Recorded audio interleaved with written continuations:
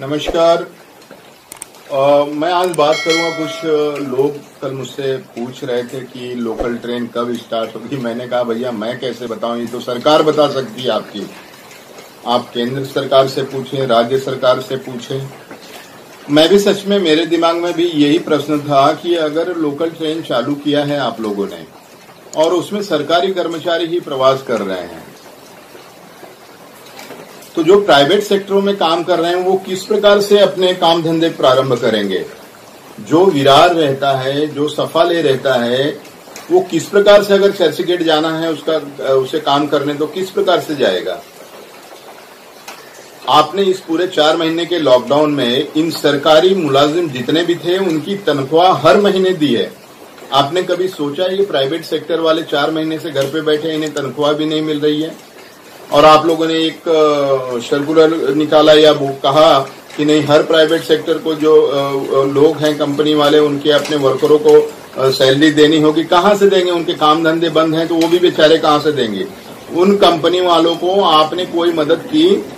आपने कोई ऐसा सहयोग किया कि जिससे वे अपने वर्करों को सैलरी दे सके?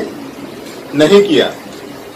और आज फिर वही हाल, आपने लॉकडाउन में लोकल तो प्रारंभ की है। लेकिन उसमें सरकारी मुलाजिम ही जा सकते हैं। और लोग अगर काम धंधा चालू भी करना चाहें तो नहीं कर पा रहे हैं। घरों में बैठे हैं, बेरोजगारी बढ़ी है। बेरोजगार नवयुवक सड़कों पे घूम रहे हैं, खाने के वादे हैं लोगों को घर में घर में। अस्पतालों की ये हालत थी कि कोई भी अस्पताल हो, चाहे प्राइवेट हो, चाहे बीएमसी हो, किसी भी जो दूसरे अन्य मरीज़ हैं, उनको एडमिशन लेने के लिए तैयार नहीं था। कई मरीज़ तो ऐसे थे जो आपने देखा होगा न्यूज़पेपर के माध्यम से मीडिया सोशल मीडिया के माध्यम से जो इलाज के अभाव में दम तोड़ चुके हैं। कितनी शर्मनाक बात है और ये घटनाएँ हैं इस तरह की। क्या है कोरोना मुझे समझ में नहीं आ रहा है।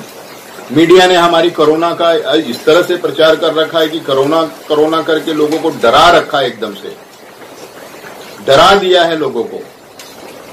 मैं सरकार से पूछना चाहता हूँ, मैं राज्य सरकार से, मैं केंद्र सरकार से पूछना चाहता हूँ, जो हमारे रिक्शा ड्राइवर चार महीने से घर पे बैठे थे, जो हमारे टैक्सी ड्राइवर चार महीने से घर पे बैठे थे, जो हमारे रेलवे स्टेशनों पे कुली थे, वो चार महीने से बैठे थे, जो हमारे रेलवे स्टेशन पे बूट पॉलिश करने वाले थे, वो चार महीने से बैठे थे, जो हमारे डब्बा, जो टिफ़िन पहुँचाने वाले लोग हैं, वो चार महीने से बैठे थे।